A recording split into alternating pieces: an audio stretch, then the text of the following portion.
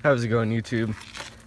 John here and today me explaining to you guys how I'm gonna try to move my front axle forward. So my issue right now is my tire is too big to fit in the wheel well how the axle is located right now.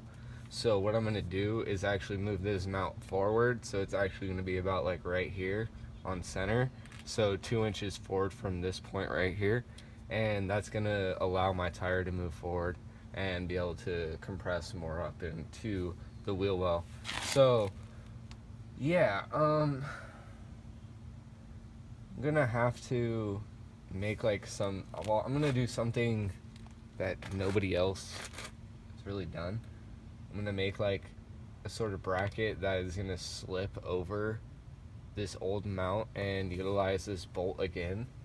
And I'm gonna weld it from the inside and then on top and all the way around to the old mount and uh, tie it in together right here with a beam that's gonna go across. So it's gonna be cool.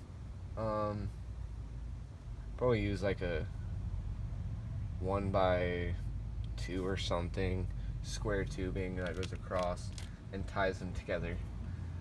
And then uh, relocate this hook and uh, yeah it's gonna be pretty badass so that's my idea for this. Um, I have some more a lot more stuff to do.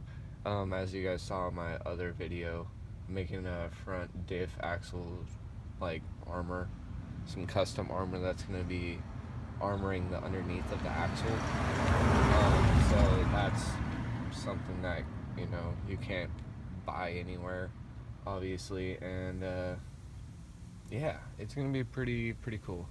Um, I have a lot of cool plans for this truck, so getting a lot of it done, but, you know, I only have so much time and so much money, so we're just getting it done as fast as I can. and, uh, getting done. So hopefully you guys enjoy this video, and uh, I'll talk to you in the next one. I'm out. Peace.